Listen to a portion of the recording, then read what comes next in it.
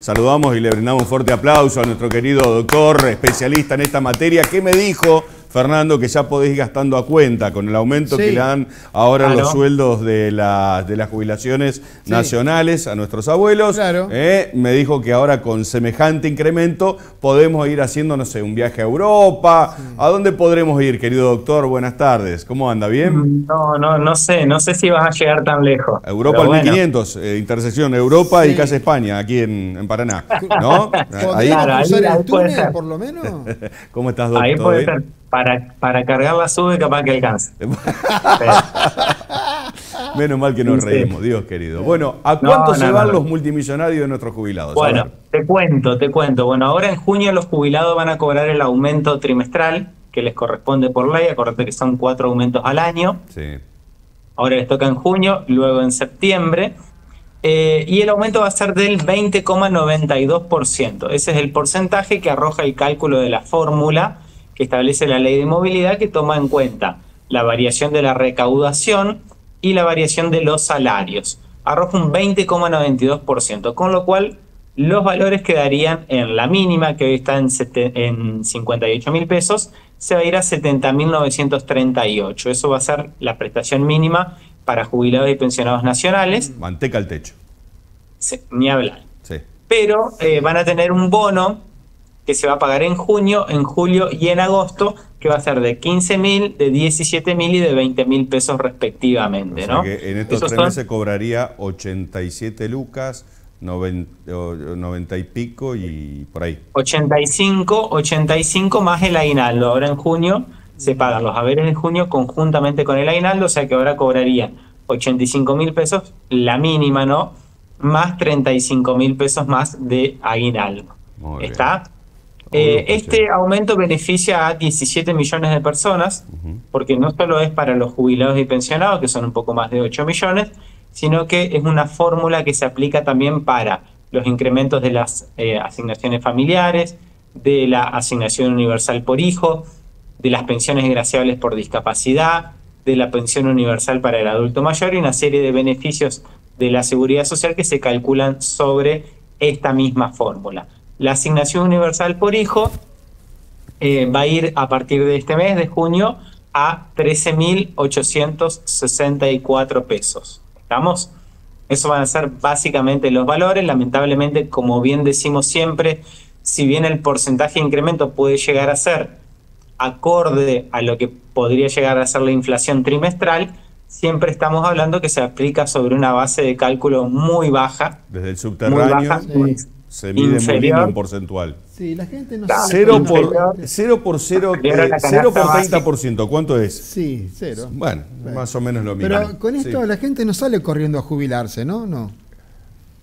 En realidad, hoy todos los que tienen la posibilidad de jubilarse lo están haciendo Sí, porque no porque es un ingreso eso. más, es un ingreso extra, obviamente, y en el régimen nacional la jubilación no es incompatible con el empleo. Claro. Por lo tanto, la persona puede jubilarse jubilarse para salir a laburar.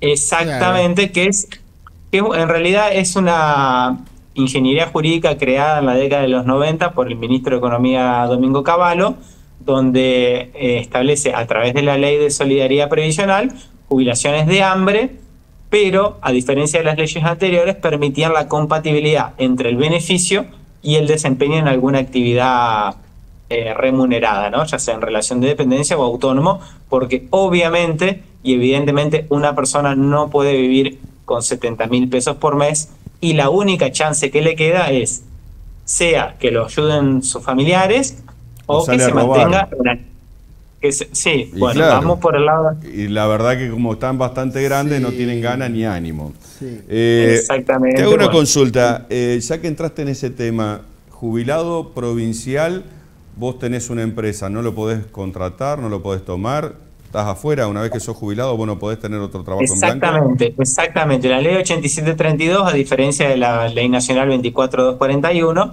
establece la incompatibilidad absoluta entre la percepción del beneficio jubilatorio provincial y el desempeño de cualquier actividad en relación de dependencia, cualquiera. Las O sea únicas que yo como excepciones empleador, si quiero tomar un jubilado, primero no me lo permite el sistema, segundo me meten en cana No, a mí, no, no, no, no, solamente no. el... ¿Qué? No, vos vas a poder contratar un empleado que sea jubilado, pero esa persona va a entrar en incompatibilidad con su jubilación y Claro. debe, por tanto, solicitar en la caja de jubilaciones la suspensión del beneficio. Claro. Si así no le hiciese, ¿quién paga los platos rotos? ¿El beneficiario o el contratante?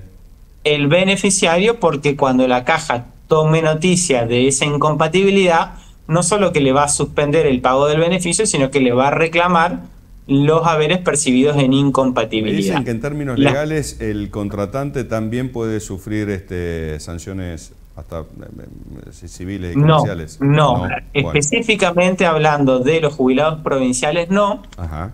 porque es una obligación del beneficiario de denunciar la nueva situación laboral frente a la caja. El otro no Las únicas excepciones, la- las únicas excepciones que permite la ley es para los docentes de nivel universitario o terciario que pueden continuar o reingresar en hasta 12 horas cátedras y los eh, músicos de las orquestas sinfónicas o bandas provinciales o municipales, Eh, los pido- únicos que pueden te- te continuar trabajando. Te pido cinco minutitos, Mariano, dame cinco minutos que tengo el móvil también solicitando el ingreso, que quiero hacerte un par de consultas más. ¿Me aguantás, por favor? ¿Puede ser? Gracias, doctor. Estamos hablando de, las, eh, de los incrementos eh, salariales para los jubilados nacionales, pero así también estamos hablando de lo que se viene en términos legales, ¿no? Este, de cara a lo que eh, se está trabajando.